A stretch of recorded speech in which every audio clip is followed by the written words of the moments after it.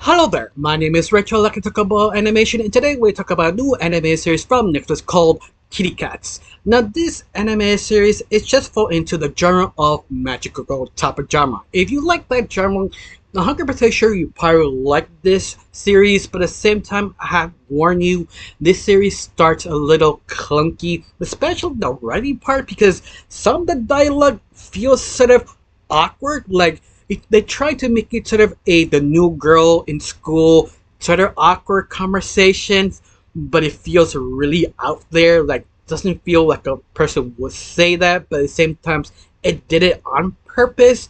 But something later on improves and understands how dialogue actually supposed to work and something that you kind of will notice the first episode especially how the animation is not the highest budget to compare to like miss ladybug or steven universe because both of them are the same sort of western well not western that one's uh, italian i think or french and the other one is american but you get the idea they fall to the Western superhero, but they actually are magic girl.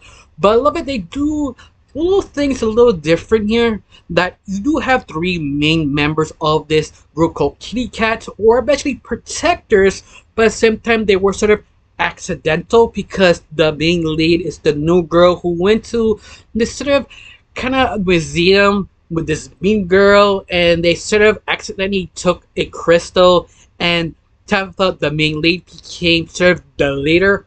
Kind of the leader is, is one of those like who has the best idea gets to lead. And that's sort of I think the approach of the whole series. That sort of the situation they put themselves is sort of weird, unusual, but you want to get out of it, you have to sort of defeat the main villain. But I love it. This series feels sort of refreshing that is focused on the two main leads the sort of villain, but not really the mean girl, be uh, Cherry, who is a SOB. She is sort of a mean girl who treats people like dirt, but not over exaggeration, but just sort of uncomfortably. But is she's the type of person that she's not 100% a mean girl. She is trying to be nice, especially with Tabitha, but it's sort of her jealousy make her sort of interesting how uh, how she approaches numbers. You also have Tabitha who tried to fit in school, but yet she doesn't know how to because how awkward she is because she's sort of new, doesn't know how to approach people.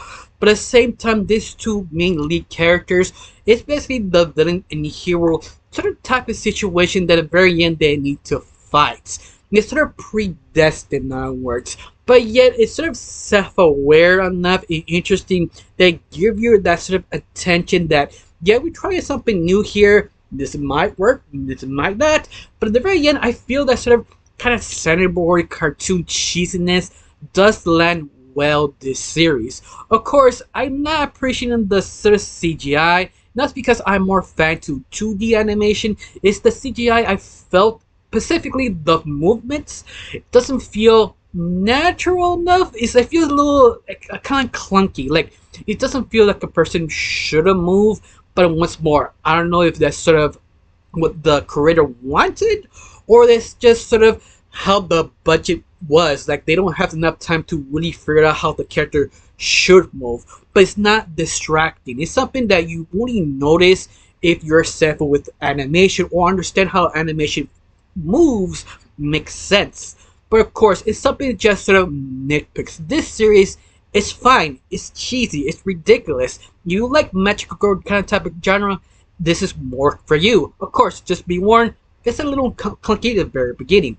But I have to admit, I did like that sort of each episode sort of explains the world, how the little things work, why Tabitha is sort of chosen, why uh, Charity is sort of chosen also to be sort of the hostess of the main villain, and also how Tabitha and Charity sort of relationship because they have that sort of kind of Goku Vegeta sort of kind of bromance, but not really. But only difference is Tabitha is sort of aware that uh, Charity is sort of an asshole, but it's something that is sort of interesting. That's sort of they try and be that sort of relatable, like either or you like either or the main leads, you understand both of them. But once more, instead of the funness the cheesiness and sort of kind of drama they do trying to push that sort of drama it does work but sometimes they stop doing the drama to make some sort of weird uh kind of joke not weird it's sort of self-aware this is sort of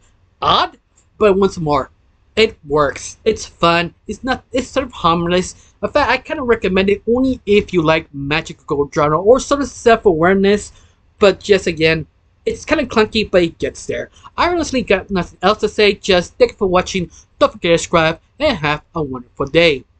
Bye.